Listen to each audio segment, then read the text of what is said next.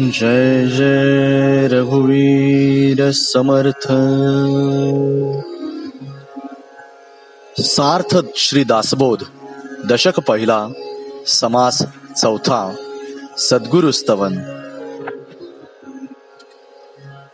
याआधी आपण ईश्वराच्या निश्चळ अंगाचे ज्ञानमय स्वरूपाचे किंवा गणपतीचे वर्णन ऐकले. ईश्वराच्या चंचळ अंगाचे शक्तिमय स्वरूपाचे किंवा शारदेचे वंदन देखील याआधी आपण ऐकले. श्री समर्थ आता श्री सद्गुरूला वंदन करतात.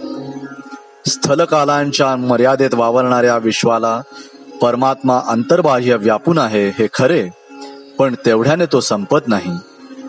या विश्वाने जर परमात्मा संपला तर तो अनंत राहणार नाही. व्यक्ती व विश्व यांना व्यापून तो शिल्लक उरतो. तो किती शिल्लक उरतो हे आजपर्यंत कोणालाच कळलेलं नाही. असे ते कल्पनातीत आणि अनंत परमात्म स्वरूप म्हणजेच संतांचा सद्गुरू होय. परमात्मा कसा आहे हे माणसाला कधीच सांगता येत नाही.